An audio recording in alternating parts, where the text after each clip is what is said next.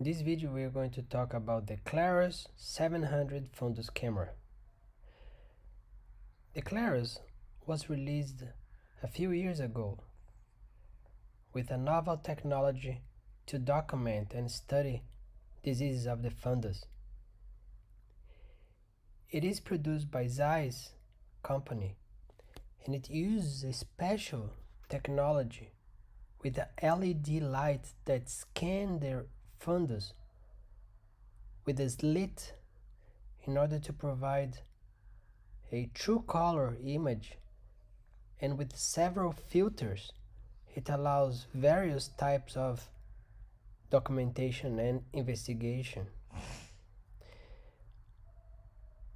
On the right top of your image you may see the hardware of this machine and in the center of the slide you may appreciate the most important types of imaging modalities with this camera.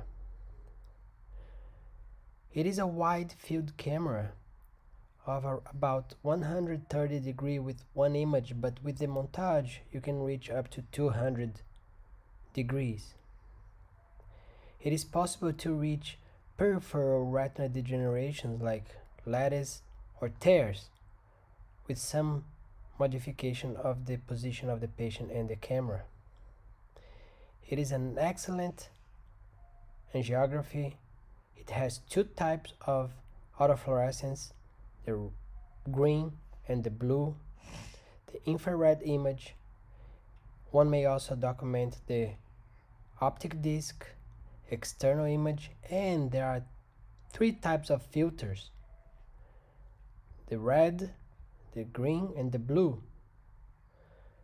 Those channels allow investigation and studying several layers of the fundus.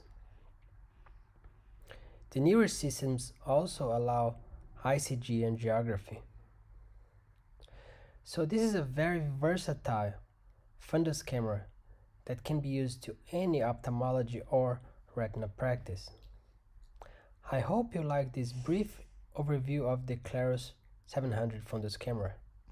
See you in the next video. Thank you.